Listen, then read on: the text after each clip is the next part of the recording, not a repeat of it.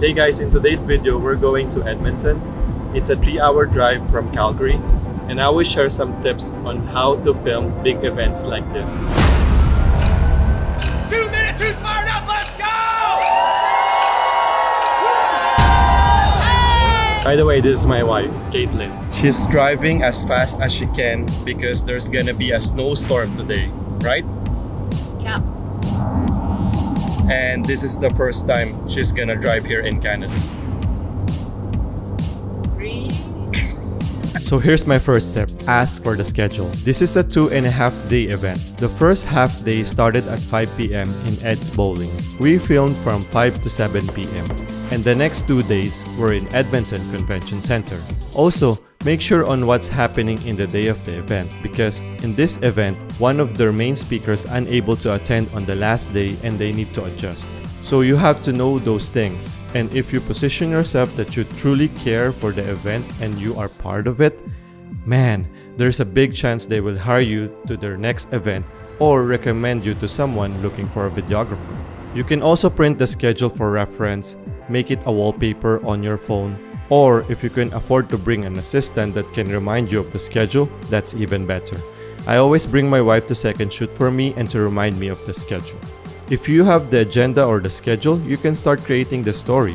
I review the agenda or schedule the night before so I can plan out my shots. So here's my shot lists.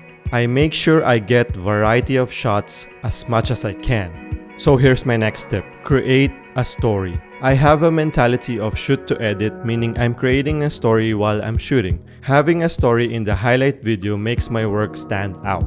In creating a story, I need to record the audio or the speeches to tell a better story.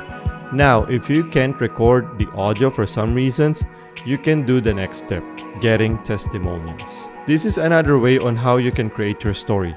People who attend will tell you their experience and what happened during the event. I've been covering events for 6 years now and in my experience you can do this in two ways. First, you can grab random attendees at the end of the event and ask them nicely if they can do testimonials. Most of the time they would say no, but that's okay. You can move on to the next person because some will say yes. So make sure prepare a set of questions to ask the attendees.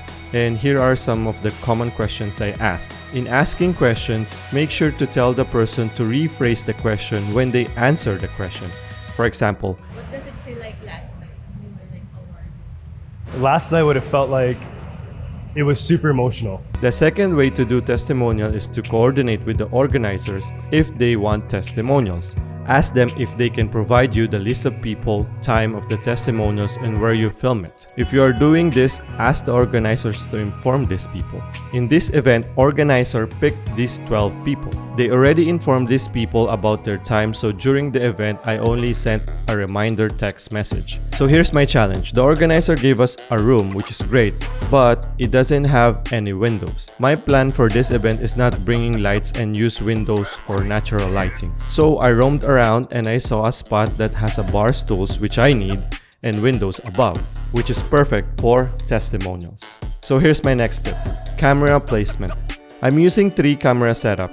Just to add context, this event hired a big production to handle audio, lights, slides, and two big cameras to feed on the big screen. I was informed about this and I got excited because I know there will be a tight shot and a wide shot. I asked the organizer to inform the production if I can hook my audio recorder and if I can copy the video recording.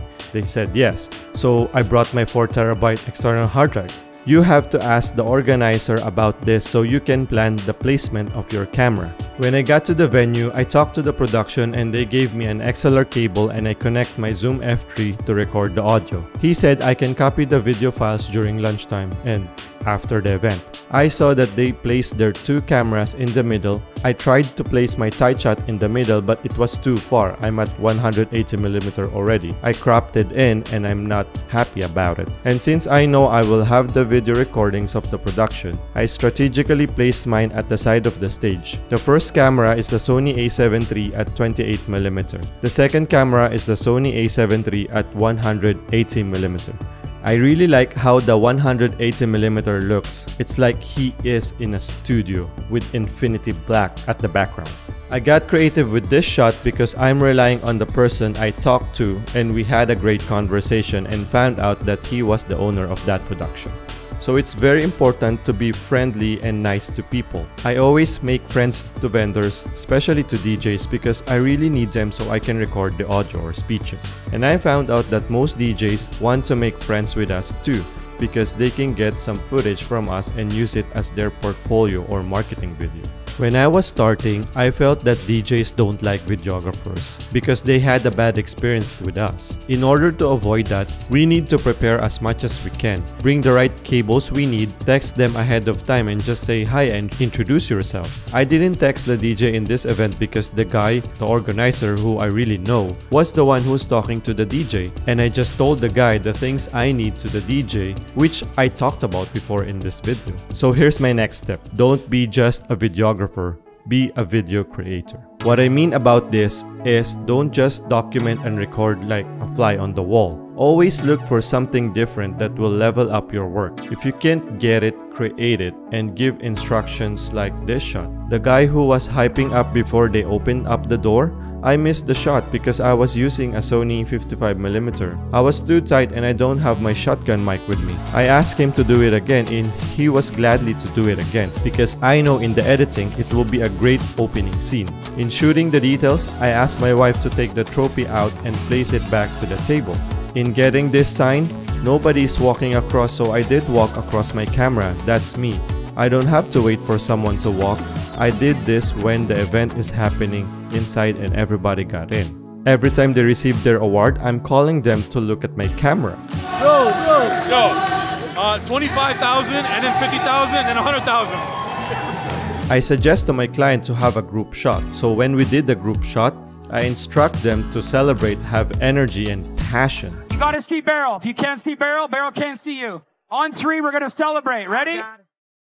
One, two, three. The first shot was pushed out at 4K 60p. Since this is a money shot, meaning I will put this in the highlight video, I did it again. The second shot was pushed in. Right, one more time. Ready? One, two, three. And since the production had a wide shot and a tight shot in the middle, I got creative and placed my camera on the right side of the stage so I can get this epic looking shot of the speakers. So I make sure I'm documenting, but also I'm getting creative shots. So here's my next tip. Be part of the event and enjoy it. Be fun to work with. I'm not selling the video output, I'm selling the experience. If I had fun filming this event, people can feel that. People will hire me because they had a great working experience with me. Here's my mindset every time I film an event. I know some people here need video. I know some people here are getting married next year or so. I know people here know somebody who needs video. So be pleasant to work with. Go for extra miles and talk to people and connect. By the way, do you want to see on how I edited this highlight video? Please let me know in the comment section. Thanks for watching and see you guys soon.